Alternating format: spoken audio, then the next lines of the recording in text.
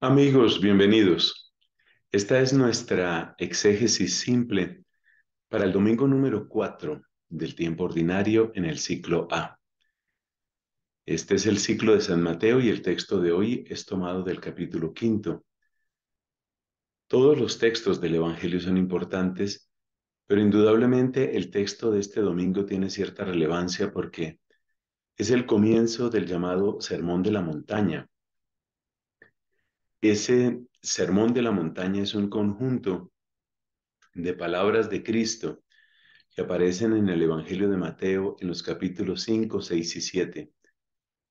Y es el texto, es el sermón que se abre con esa palabra profunda, bella y al mismo tiempo, eh, podríamos decir, desafiante de las bienaventuranzas. Así que vamos allá, pero primero una oración. Primero unámonos a la oración de Cristo. Padre nuestro que estás en el cielo, santificado sea tu nombre. Venga a nosotros tu reino, hágase tu voluntad en la tierra como en el cielo. Danos hoy nuestro pan de cada día, perdona nuestras ofensas, como también nosotros perdonamos a los que nos ofenden. No nos dejes caer en la tentación y líbranos del mal. En el nombre del Padre y del Hijo y del Espíritu Santo. Amén. Aquí tenemos nuestro texto. Como de costumbre, vamos a leerlo en primer lugar en español. Eh, se trata de los versículos del número 1 hasta la primera parte del versículo 12. Viendo la muchedumbre, subió al monte se sentó y sus discípulos se le acercaron. Y tomando la palabra les enseñaba diciendo, Bienaventurados los pobres de espíritu, porque de ellos es el reino de los cielos. Bienaventurados los que lloran, porque ellos serán consolados. Bienaventurados los mansos, porque ellos poseerán en herencia la tierra. Bienaventurados los que tienen hambre y sed de la justicia, porque ellos serán saciados. Bienaventurados los misericordiosos, porque ellos alcanzarán misericordia. Bienaventurados los limpios de corazón, porque ellos verán a Dios. Bienaventurados los que trabajan por la paz, porque ellos serán llamados hijos de Dios. Bienaventurados los perseguidos por causa de la justicia, porque de ellos es el reino de los cielos. Bienaventurados seréis cuando os injurien y os persigan y digan con mentira toda clase de mal contra vosotros por mi causa. Alegraos y regocijaos, porque vuestra recompensa será grande en los cielos. Ese es el texto. La palabra que más se repite es bienaventurados. Una palabra que en latín se dice beati.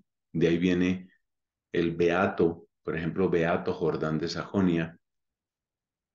De ahí viene la beatificación, es la declaración oficial de la iglesia de que una persona es feliz en el sentido de que tiene la perfecta alegría que solo se, se logra en el cielo.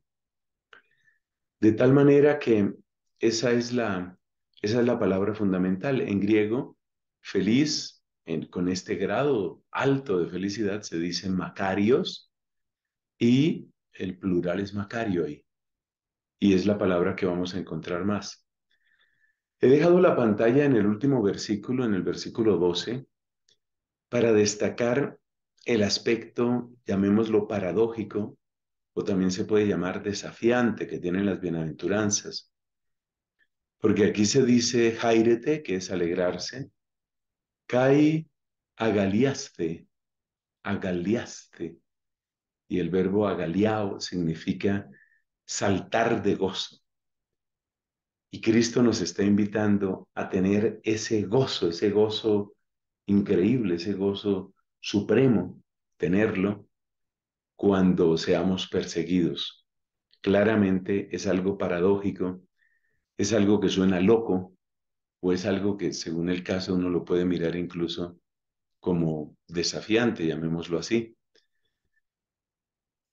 Lo que más nos va a interesar en este análisis sencillo, por eso lo llamamos exégesis simple, lo que más nos va a interesar es el tomar las palabras, el sentido de las palabras, porque como es un texto que uno ha oído muchas veces, a veces uno puede perder el sentido de las palabras, en el sentido de que cree que ya las conoce, cree que ya las entiende, y pienso que, que hay más de una sorpresa que nos aguarda en este recorrido.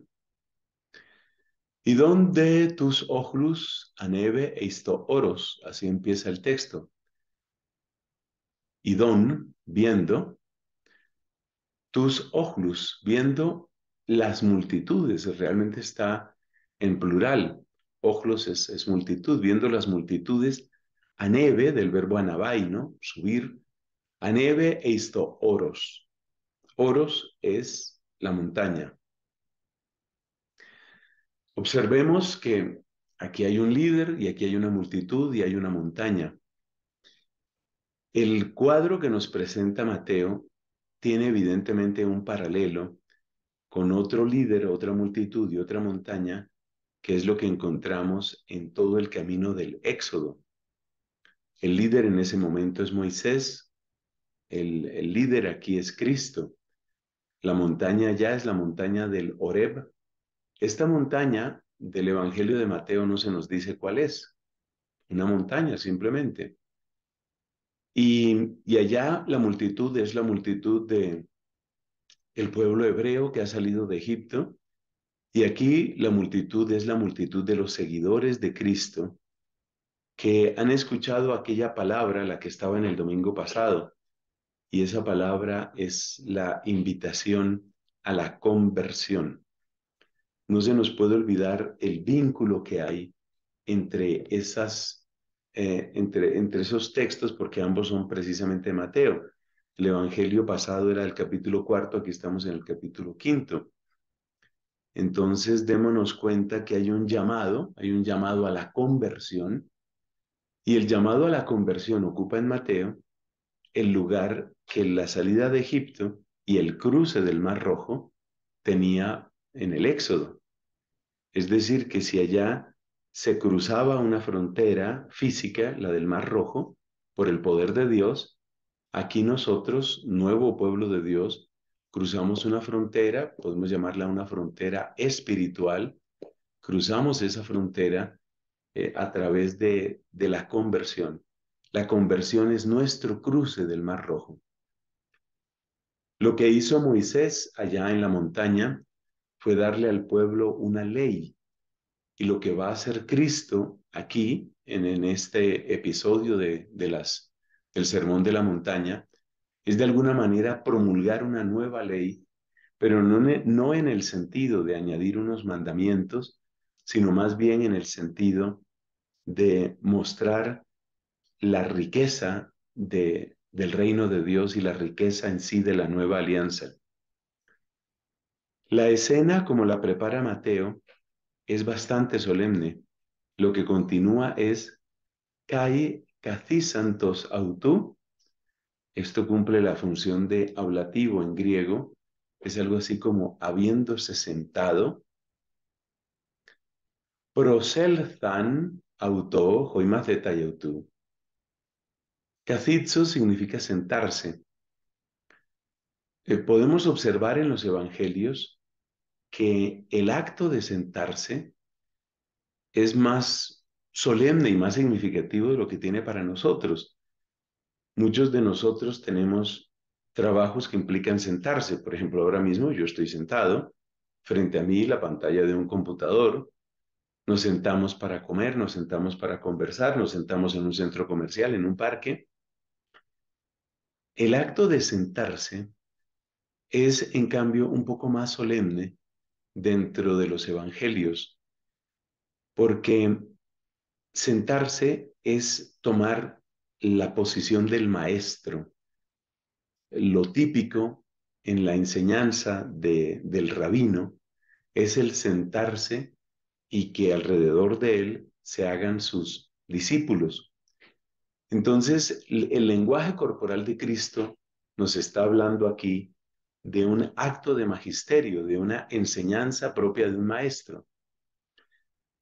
Proselzan auto, proselzan es uno de los verbos derivados de erjomai. Erjomai es un verbo pues muy, muy amplio, eh, sobre todo por sus compuestos, que significa ir, venir, moverse. Proselzan es moverse hacia adelante, que bien se traduce por acercarse. Proselzan auto, ¿sí? Se acercaron, ¿cierto? Se acercaron a él, auto. Hoy macetai autu. Macetes significa discípulo. Se acercaron sus discípulos. Kai anoixas tos toma autu. Edidas que nautus legon. Aquí completa de dibujarse, podríamos decir, el, cuadro. Dice mm, anoixas del verbo anoigo. Anoigo significa abrir. Entonces, y abriendo tostoma autu. Stoma es, es la boca. En, en, las plantas, por ejemplo, se habla de los estomas, que son precisamente como, como bocas para la, el intercambio de oxígeno, de dióxido de carbono con las plantas. Entonces, aquí tenemos kai anoixas y abriendo su boca, es lo que significa. Em, dice, tomando la palabra, la traducción me parece un poco diluida. Anoixas tostomautu, y abriendo su boca. El, el Cristo que abre su boca nos invita a recibir la riqueza que va a salir de esa boca, que es la riqueza de una palabra fresca, liberadora, una palabra que realmente nos abre un universo nuevo. No se nos olvide que en Génesis capítulo 1, todo fue hecho por la palabra, ¿no? Dijo Dios. Entonces, la palabra eh, en Génesis 1 es una palabra creadora es una palabra que abre la posibilidad de existencia en el universo. Y hay un salmo que también dice, Él lo dijo y existió, Él lo mandó y surgió. Entonces hay una solemnidad en medio de la sobriedad del texto, hay una solemnidad en lo que nos está presentando Mateo. Se trata del Hijo de Dios, se trata del nuevo Moisés, que tomando la postura y el lugar del maestro, maestro de maestros, abre su boca y el verbo que sigue es el verbo de los maestros, edidas ken autus. Edidas ken en pretérito imperfecto viene del verbo didasco, que es el verbo propio del maestro. Didasco es enseñar. De ahí viene la didáctica. Edidas ken autus legon. Les enseñaba diciendo. Entonces, es una enseñanza la que viene aquí. Una enseñanza que en primer lugar Él ha vivido. Y una de las lecturas más interesantes de este texto de las bienaventuranzas es precisamente identificar cómo cada uno de estos, entre comillas, mandamientos nuevos, cada una de estas palabras nuevas, es una palabra que que Cristo en primer lugar lo vivió. Macario y empieza diciendo, ya explicábamos, felices. Macario y hoipto hoipto pneumati, joteutones tinge basileia tonuranon. Macario y felices, muy felices. Es la plenitud de la felicidad. Existe en, en griego el verbo macarios, y el, verbo no, el nombre macarios, es, un nombre de contexto religioso, claramente. Y, y, es la palabra que utiliza también Isabel cuando saluda a María, cuando le dice Macaría Episteusasa. Feliz, muy feliz la que ha creído. Es decir, que Cristo nos está presentando aquí dónde está la verdadera felicidad.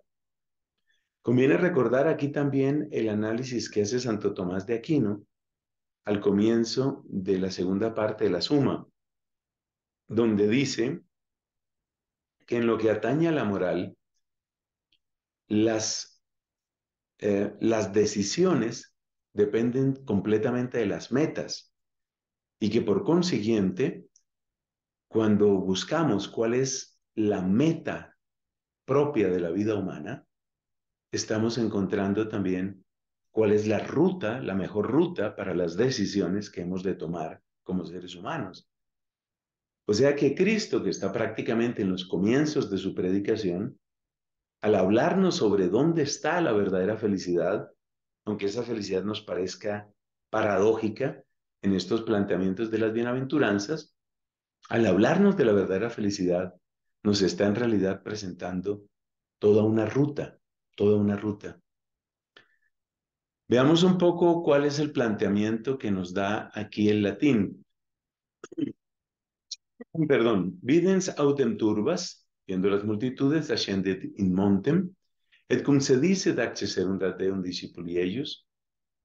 Cuando se sentó, o habiéndose sentado, se acercaron sus discípulos, et aperiens osum docebadeus dicens. Aperiens osum, abriendo su boca. Yo creo que es bonito mantener, eh, digamos, la proximidad, la proximidad visual que nos permite esta expresión solemne de Mateo. Beati pauperes beati es la, manera clásica ¿no? de traducir Macarioi. Beati pauper spiritu, quoniam ipsorum es regnum celorum.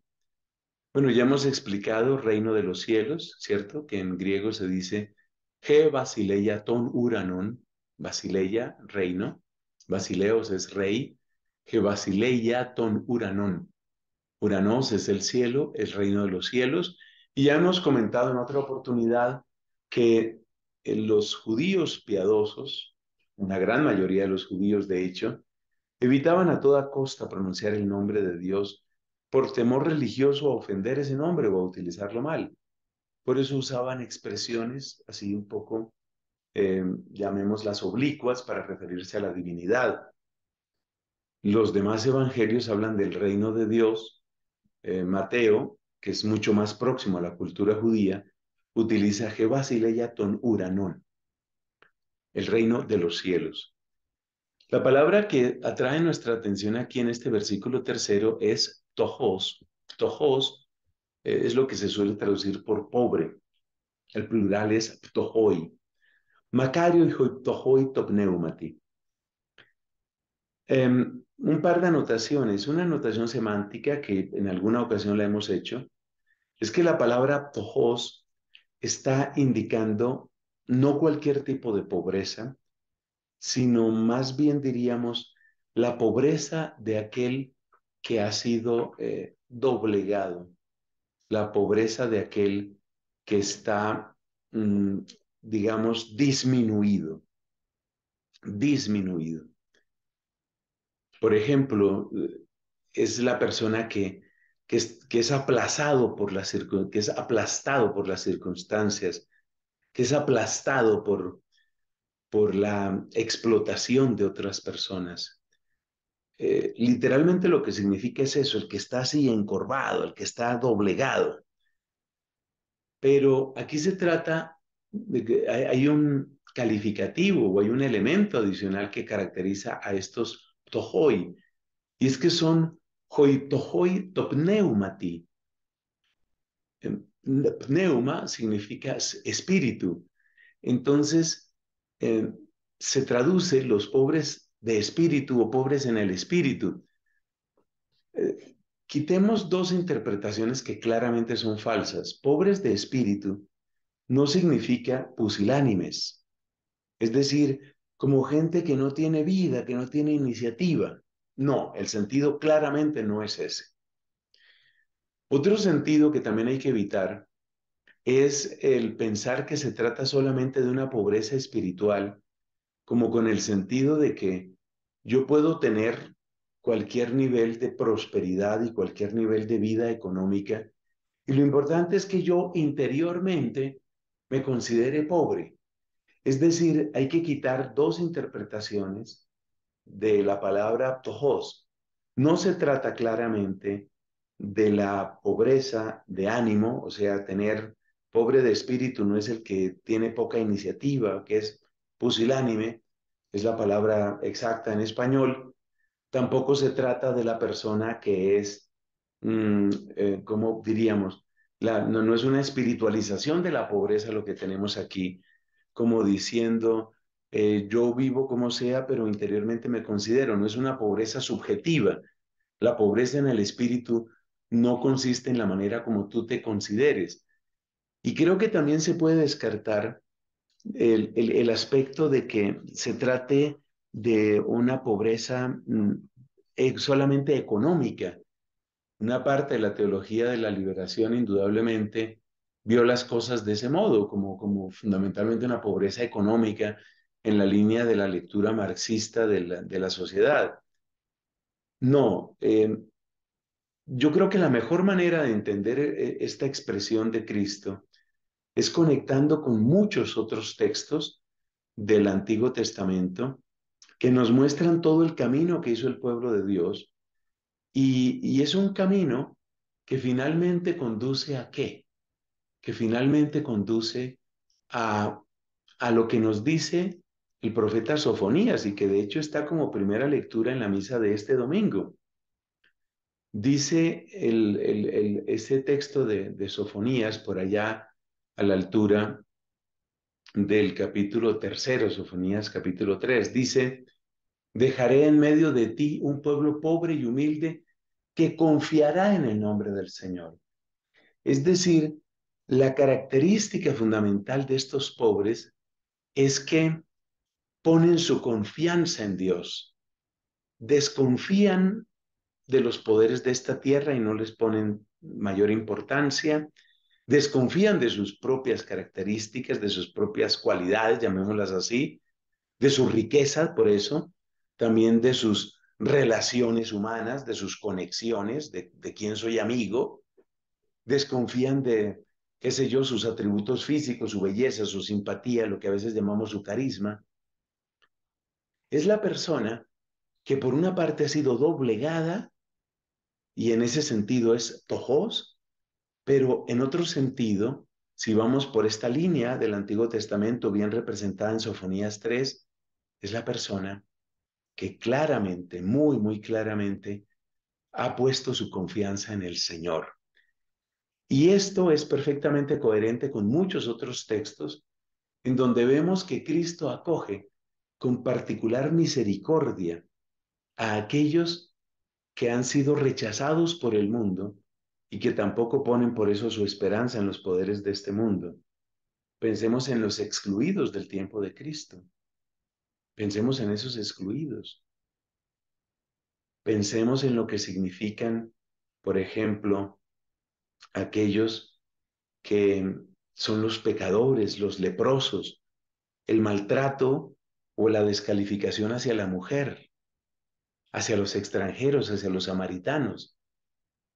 Entonces, claramente, este texto se entiende mejor si miramos pobre de espíritu como aquel que por una parte carga un sufrimiento, ciertamente lo carga, ciertamente lo tiene, pero por otra parte es aquella persona que aprende a poner su confianza en Dios.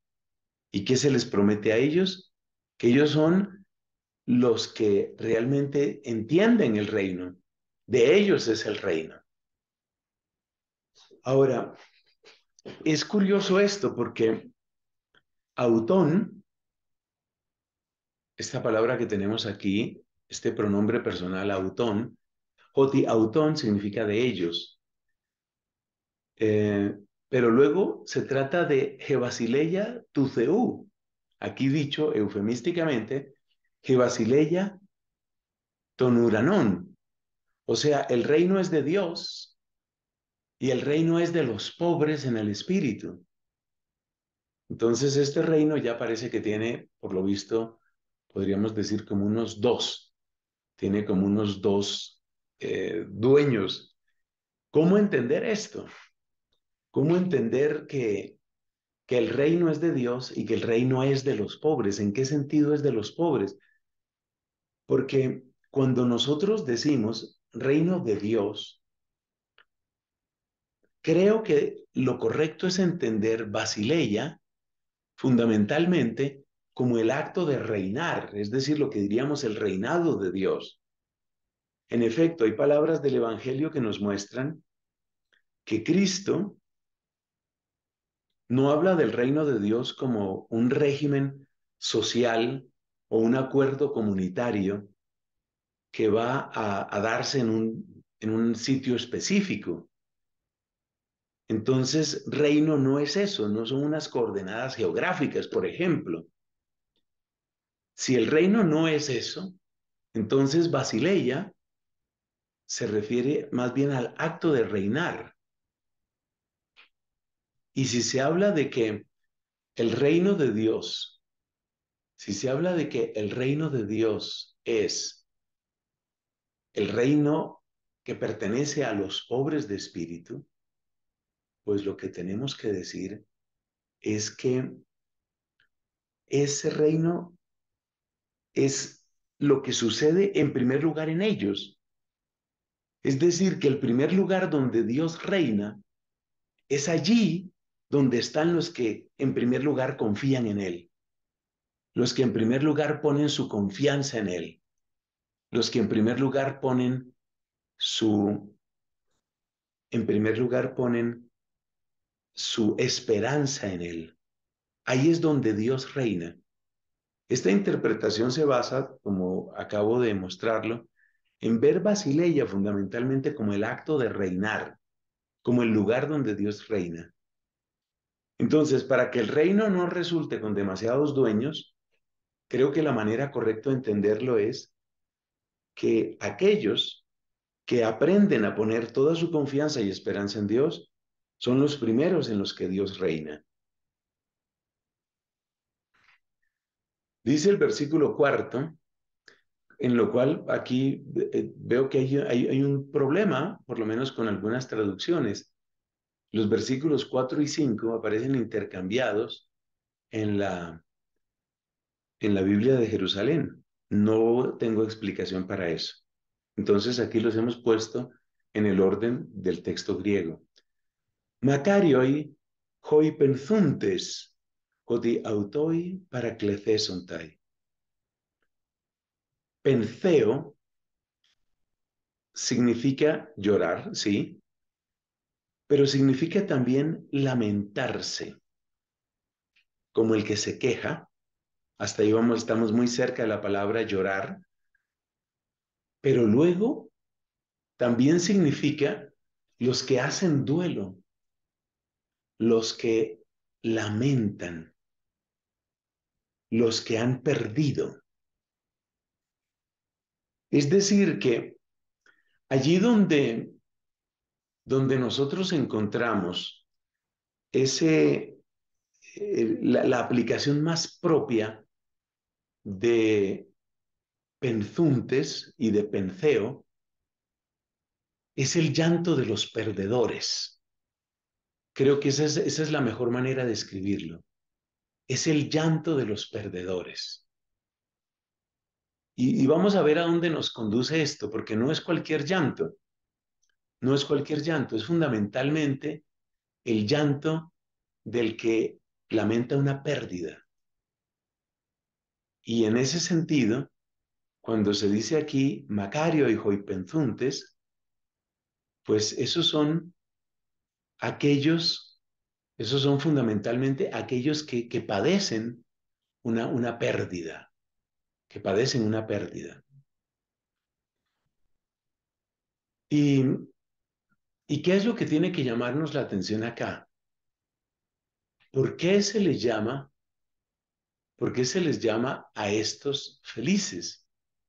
Es decir, la pregunta sería, ¿qué clase de pérdida es a la que se está refiriendo Cristo.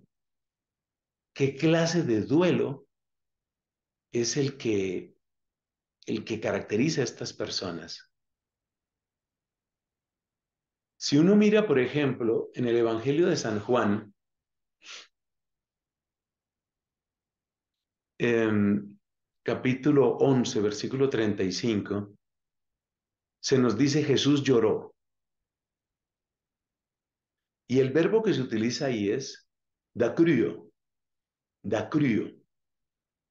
Dacrio es un verbo que simplemente significa eso, el acto de llorar, el hecho de que lágrimas brotan de los ojos.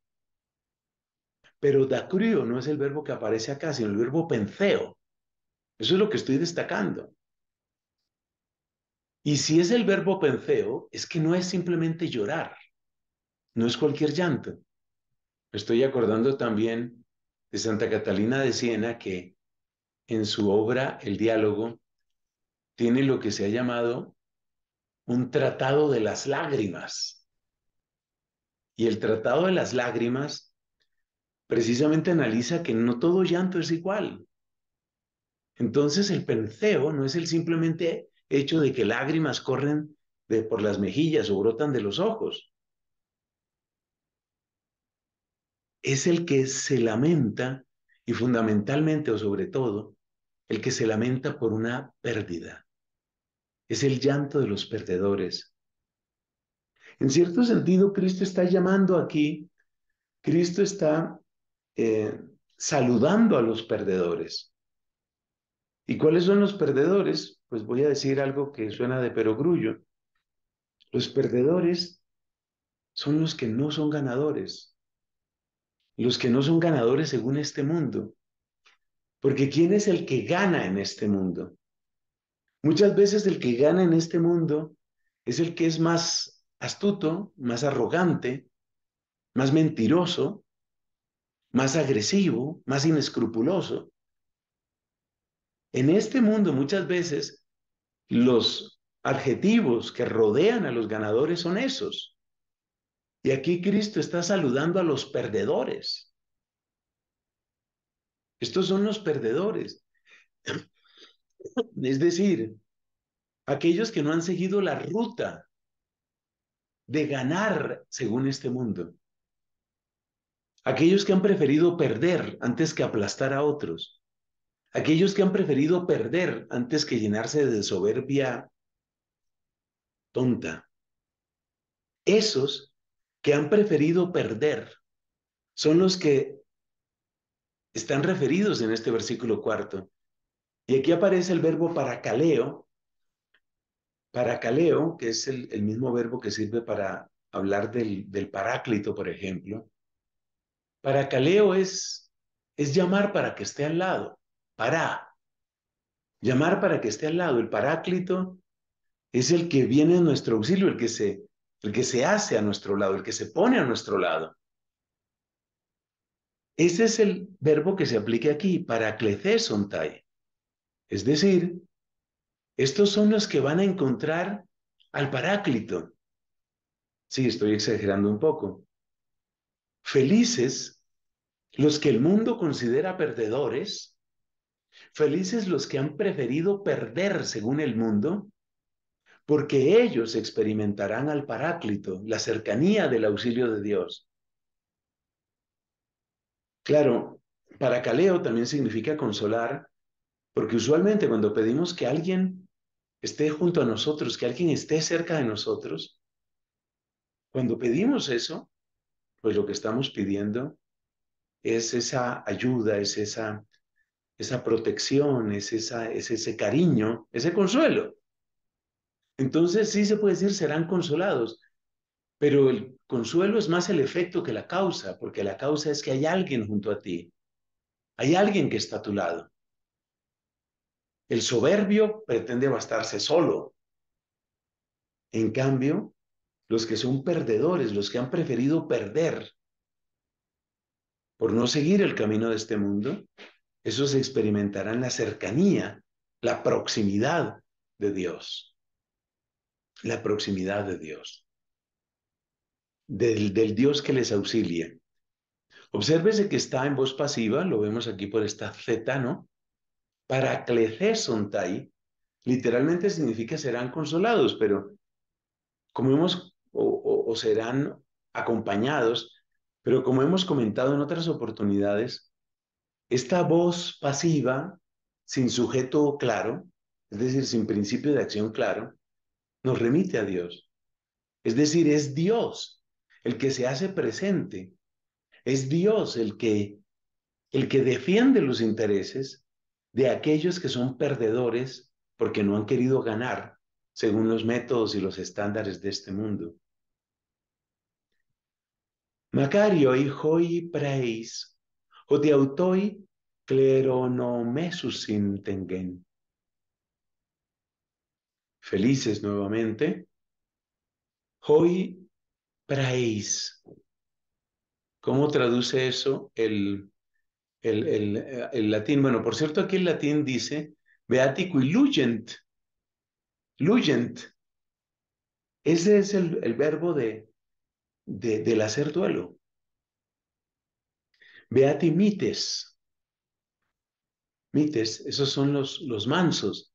Pero no es tan fácil entender esta mansedumbre, porque a veces parece que la mansedumbre, así lo entendió por ejemplo Nietzsche refiriéndose a la fe cristiana, a veces parece que la mansedumbre fuera como una especie de debilidad o como una especie de cobardía, y no lo es, no se trata de eso.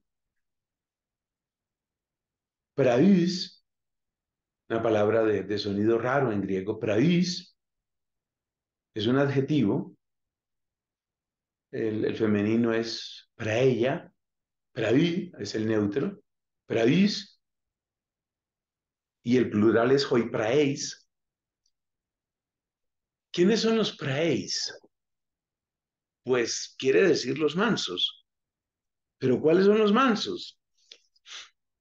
Pues vayamos un poco al ejemplo de Cristo.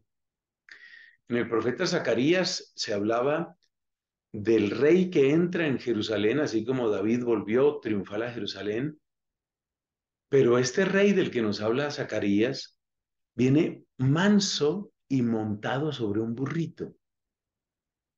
Esa mansedumbre, ese entrar en Jerusalén es un acto regio, es un acto de realeza,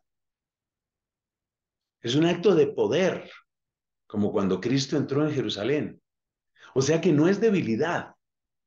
Pravis no significa débil. Significa el que tiene otro tipo de poder. Básicamente el que tiene el poder que no aplasta, que no amenaza a otros. Esos son los praeis, palabras muy difíciles de traducir, tiene este evangelio. Los praeis son aquellos que tienen poder, tanto poder como el poder de Cristo al entrar en Jerusalén, pero que no utilizan su fuerza, su poder para aplastar a otros. ¿Y qué va a suceder a ellos? Joti autoi, porque ellos, cleronomesus intengen.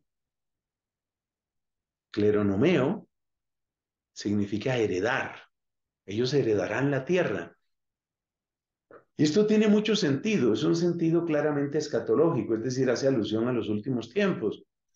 Es un sentido escatológico. ¿Por qué? Porque en el mundo actual, volvemos a lo que antes decíamos al referirnos a, los penzuntes. En, en el mundo actual, los que tienen muchas veces son los que se imponen. Pero nos damos cuenta que la rapacidad de los que se imponen crea ciclos de violencia que no cesan.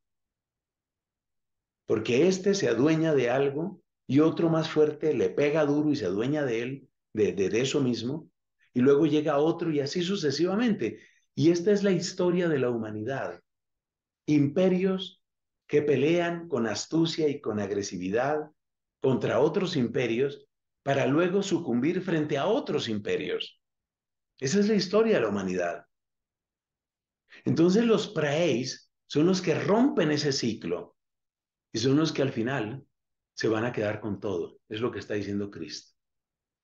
Es decir, que mientras los imperios de este mundo, mientras los imperios de este mundo se quedan en una especie de sucesión, una rueda loca que va pasando de uno a otro el imperio, como dice el libro de la sabiduría, por la soberbia, el, mundo pasa de unas manos a otras, pues los que se quedan finalmente con el mundo son estos, los que aquí traducimos por mansos, es decir, los que no aplastan con su poder a otros para tener algo. Macarioi hoi peinontes, kai dipsontes tendicaiusinen, odiautoi hortas thesontai. Felices, peinontes es un participio de presente de peinao. Peinao significa tener hambre y es un verbo que pide acusativo. Es decir, los que tienen hambre, en, aquí lo ponen con acusativo, tendicayusunen. Los que tienen hambre y tienen sed de justicia, dice aquí. Justicia.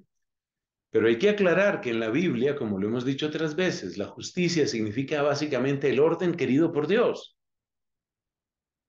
Entonces, estos son los insatisfechos, los que están insatisfechos con la manera como se mueven las cosas en este mundo.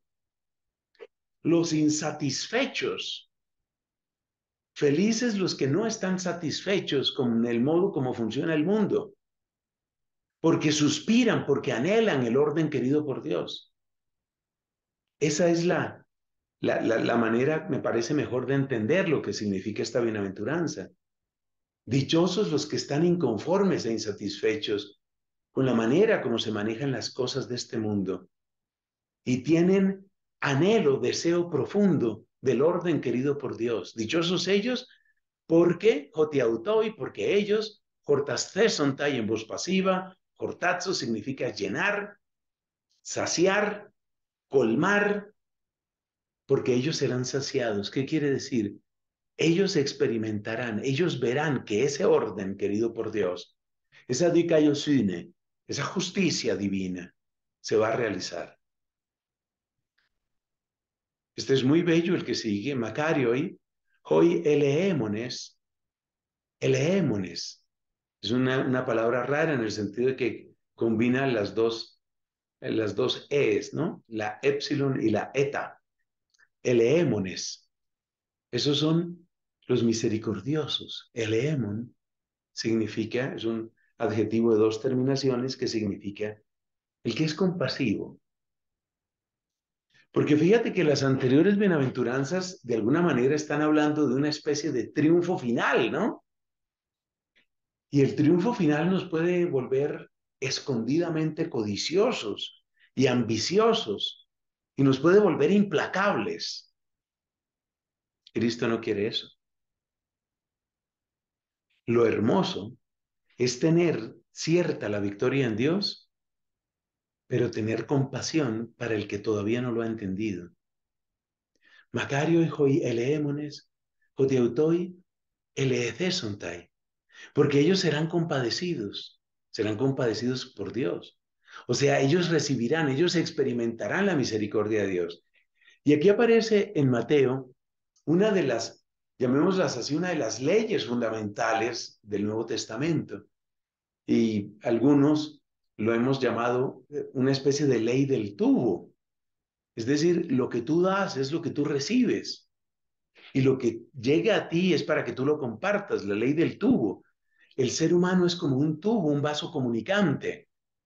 Y si tú empiezas a dar compasión, empiezas a recibir compasión. Macario, y dice el, versículo número 8, Macario, hoi cazaroi te cardía, o deutoi ton theon. Macario, felices, hoi cazaroi, cazaroi te cardía. Cazaros, de donde viene, por ejemplo, la palabra catarsis, de donde viene también el nombre de aquel grupo herético de los siglos XII y XIII, los cátaros, los cazaroi son los limpios, pero no con limpieza puramente externa, no con limpieza puramente ritual, que era tan propia, por ejemplo, de los fariseos. No es la limpieza de la apariencia, es la limpieza del corazón, es el corazón que se ha purificado, la pureza del corazón. ¿Y qué significa un corazón puro? pues tenemos que remitirnos a textos como Ezequiel 36.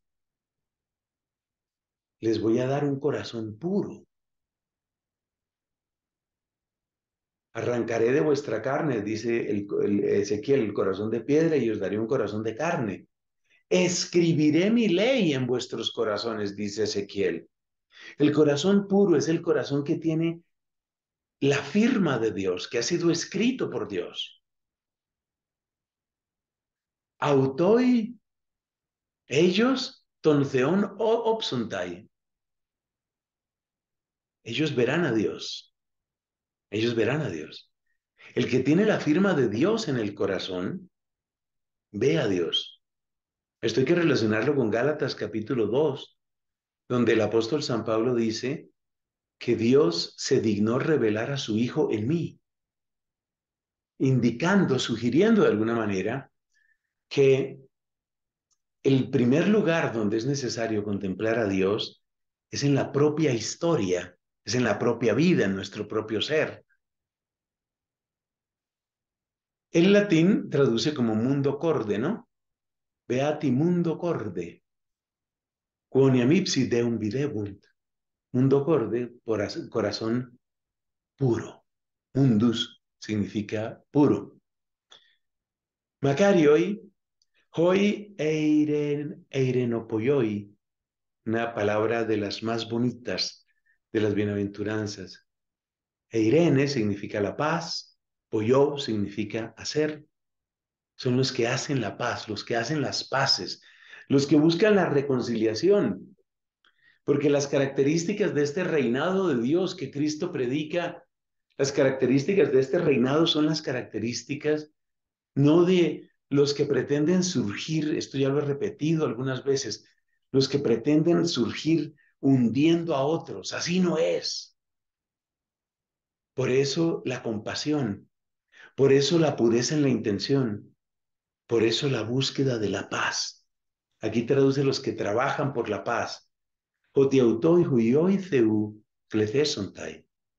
Porque ellos, hijos de Dios, serán llamados. Aquí aparece en Mateo, creo que por primera vez en el año litúrgico, un semitismo muy propio, eh, muy propio de, los evangelios, porque aparece prácticamente solo en los evangelios, y es el llamar hijo de para referirse a aquel en quien se realiza plenamente una realidad. Por ejemplo, a Judas Iscariote, Cristo lo llama el hijo de la perdición, como que se realiza en él lo que es el desastre humano. Em,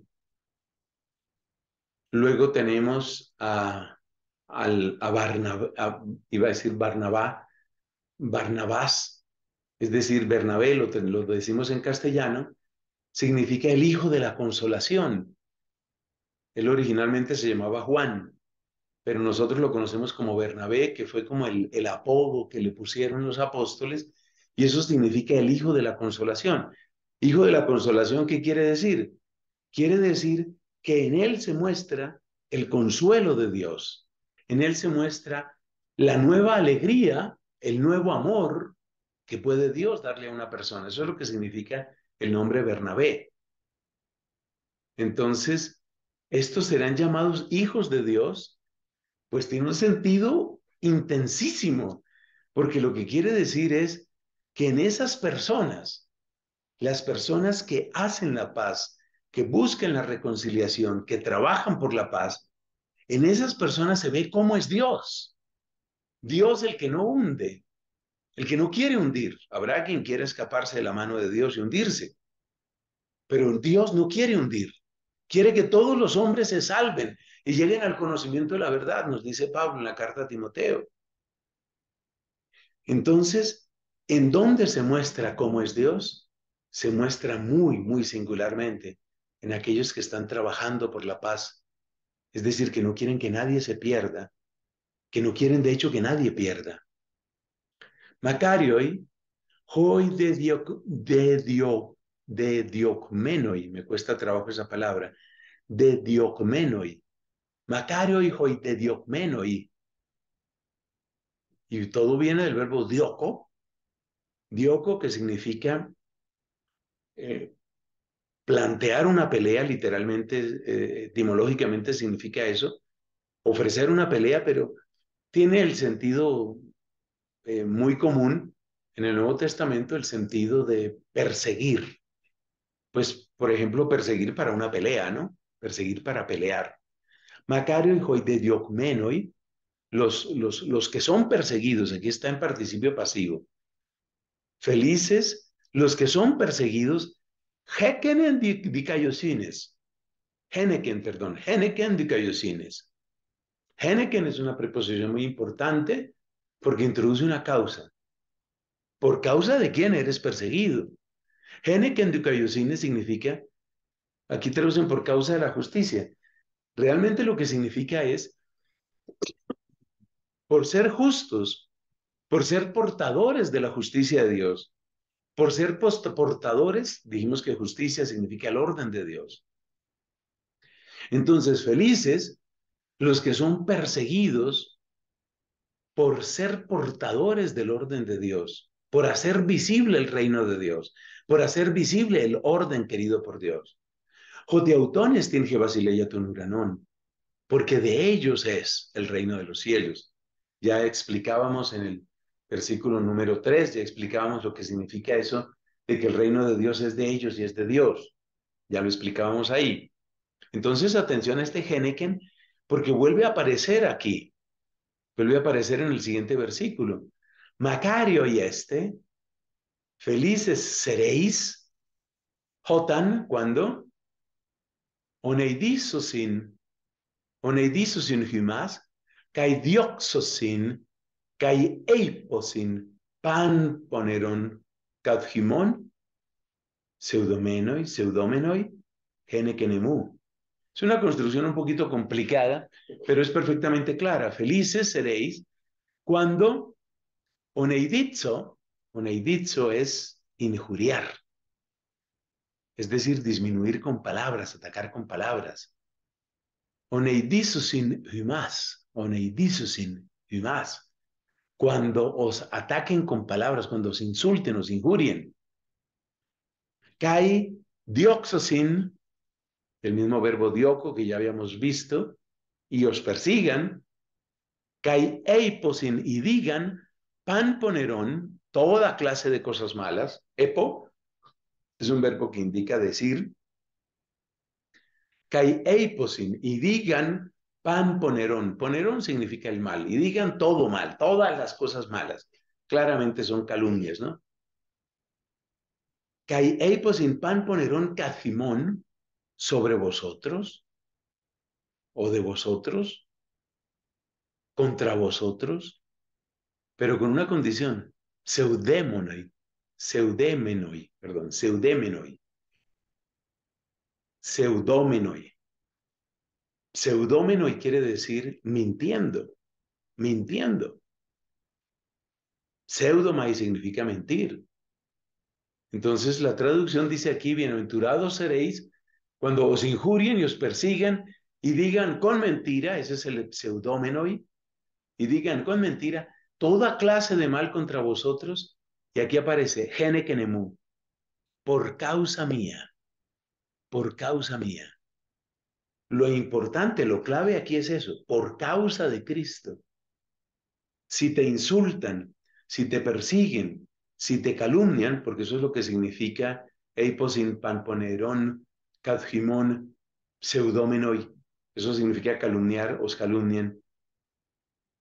Cuando te injurien, cuando te persigan, cuando te calumnien, por causa de Cristo, eso es la clave. Geneken Genekenemu, Genekenemu, por causa de él. Ahí es cuando se puede ser feliz. Démosle una mirada aquí en latín, vamos llegando al final de este texto magnífico.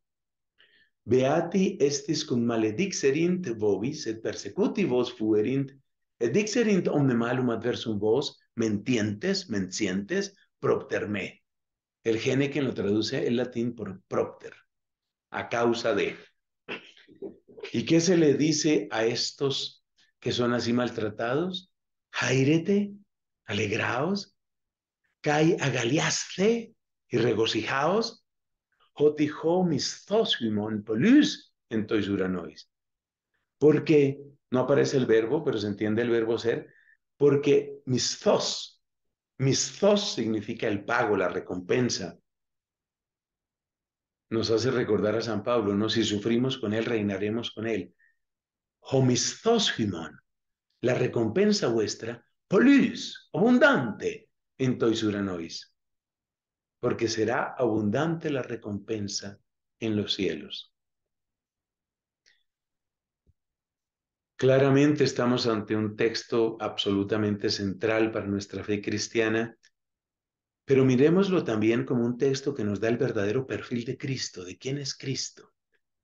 Y miremoslo también, por favor, como un texto que nos permite asomarnos al corazón de Jesús. Que sea Él nuestro camino, nuestra verdad y nuestra vida. Gloria al Padre y al Hijo y al Espíritu Santo como era en el principio, ahora y siempre, por los siglos de los siglos. Amén.